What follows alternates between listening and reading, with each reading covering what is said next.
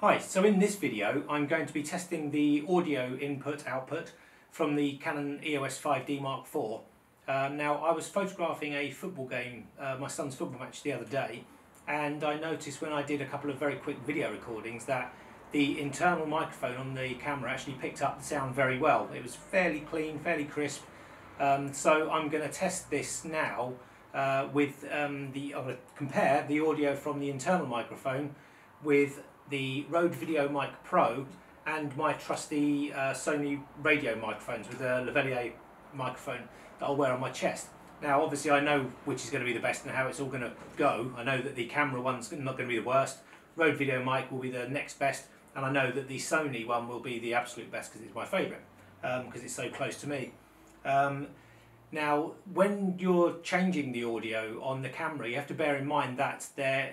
I would always set the audio levels in camera to manual and then adjust accordingly. So I know that for this part of the video I have to increase the sound levels, uh, the input, to maybe plus two or three decibels and there's a, there's a um, you can go to the manual input on the back and adjust it. You have to raise it because the further you are away from the camera, the, obviously the higher you have to raise the sensitivity. So I've got this set to below the full, probably about three quarters of the sensitivity of the microphone um, to make sure it picks up my voice loud and clear. Now when I use the Rode video mic, what I have to do is actually set this to plus 20 so that we're getting all the audio from here and then reduce the sensitivity in the camera right down, same as I do with the GH4. So we're not relying at all on the internal microphone from the camera, reduce that right down, increase the Rode video mic and we'll hopefully get all of the input from this. Then lastly, I've got to do the same again. I've got to do some tests with the Rode Video, uh, sorry, with the Sony Lavalier mic, the radio mics, to make sure that the input I'm getting isn't going wild. Um, so I'll have to adjust the parameters for that as well. But you should be able to tell the difference in quality throughout the three, but it's be interesting to see what the quality of the audio is like that you're listening to now from the internal camera compared to the other two. Now I'll say one other thing as well. I'm actually uh, using the GoPro, uh, the GoPro app, the Canon app, um, using the autofocus system, the dual pixel autofocus, and I must say it's the most handy thing when you're doing these kind of reviews because, or these kind of videos, because I'm using an aperture of f3.5, which is fairly shallow, um, so it's very hard to set focus when I'm doing this by myself, to set focus on myself and then assume I've got it right when I actually sit down. But the best thing is, as I move backwards and as I move forwards, then the focus will stay on me. I'm just checking on the actual phone to make sure that does happen, but it's perfect. It's brilliant if you're a vlogger or a blogger. Uh, I'm filming in 1080 because I don't want to waste too much memory on the card because we all know about 4K on the 5D Mark IV. Um, but yeah, it's it's it's brilliant. The dual pixel autofocus if you're a vlogger, blogger, or you're a solo video person who's constantly videoing yourself like I am, then it, it works perfectly. So enough of that just take it from me that the dual pixel autofocus is absolutely superb and I've actually tested it on a few other videos um, for, from the Canon 5D Mark IV so you'll be able to see those.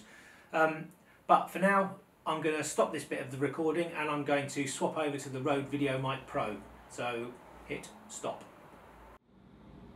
Okay, so now I've plugged in the Rode Video Mic Pro and like I've said, I've switched the input to the Rode um, to plus 20 to the highest level so it's super sensitive on the, the, the, microphone, which is pointing straight at me. It's like a shotgun mic, great for run and gun video. And I've switched the internal audio right down. I'm looking at the levels on here. The app is fantastic from Canon, Canon, Canon, Canon. The, the app is really great because you can see all of your settings on here, see what you're filming, how long it's recording for. You can also see the mic levels so that once you've set it up, you can double double check while you're speaking to make sure you've got the levels right. So you're hearing me from the Rode Video Mic Pro now uh, and you're probably noticing quite a bit of difference. It's probably a lot, a lot more crystal clear, more directional towards me with less ambient noise um, and, and quite nice bass tones and that kind of thing. So, you know, compared between the two, you've probably noticed a big difference and you'll, I'm now going to attach the, the Sony uh, lavalier mic, the radio mics, and do the same. So I'll, I'll set the internal mic accordingly just to make sure that I've got the right levels and then you'll see a difference and it should be a lot more bass resonance and again much much less ambient noise uh, a much cleaner sort of input so uh, yeah we'll switch to that now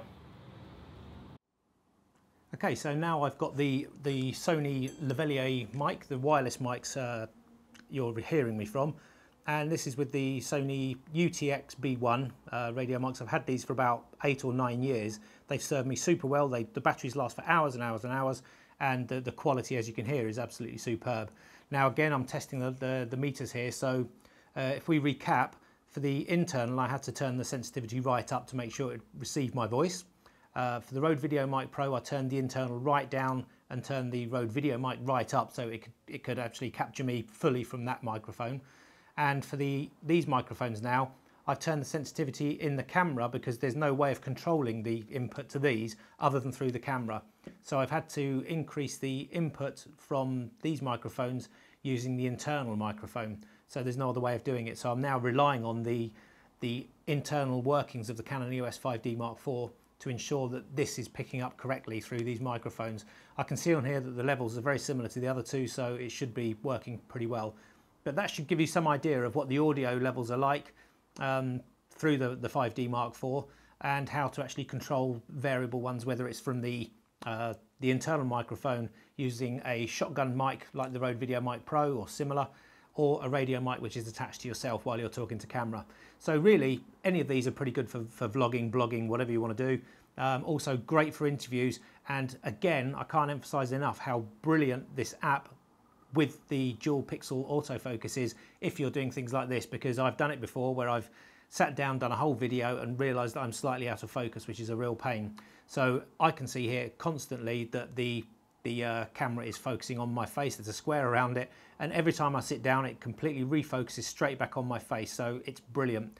So hopefully this will give you a, an idea of how the, not just the sound works, but also the dual pixel autofocus. Uh, so yeah, I hope this helps and uh, this will be part of a, a much bigger review that you'll see soon.